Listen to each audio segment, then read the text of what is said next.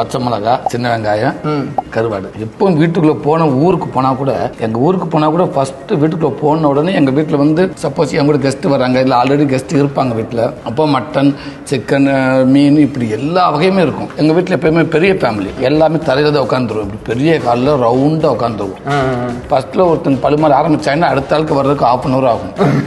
அதாவது ரவுண்டு பெரிய ரவுண்டு எல்லாத்துக்கும் இருப்பாங்க. ஒரு தட்டில் மட்டும் எங்க அம்மா கொண்டாந்து பழைய கஞ்சி இப்படி தூக்கு வழியில கஞ்சி பச்சை மிளகாய் கொண்டாந்து வைக்க முடியும் பார்க்குறவங்க யோசிப்பாங்க என்ன கஞ்சி இது யாருக்கு வைப்பாங்க பையனில் வந்து நான் உட்காந்து சாப்பிட்டு இருப்பேன் ஸோ செகண்ட் பார்ட் நம்ம என்ன எக்ஸ்பெக்ட் பண்ணலாம்? அடுத்த பாட்டுக்கு. எல்லா ஷூட்லாம் முடிஞ்சிருச்சா? இது எப்போ ரிலீஸ் பண்ண போறீங்க? ஷூட் முடிச்சு இன்னும் ஒரு ஒரு கிட்டத்தட்ட ஒரு ஒரு டுவெண்ட்டி டேஸ் ஷூட் இருக்குது. ஸோ கேஸ் டேரக்டர்ஸ் கட் வந்து பார்த்தீங்கன்னா ஜி ஃபைவ்ல இருக்கு.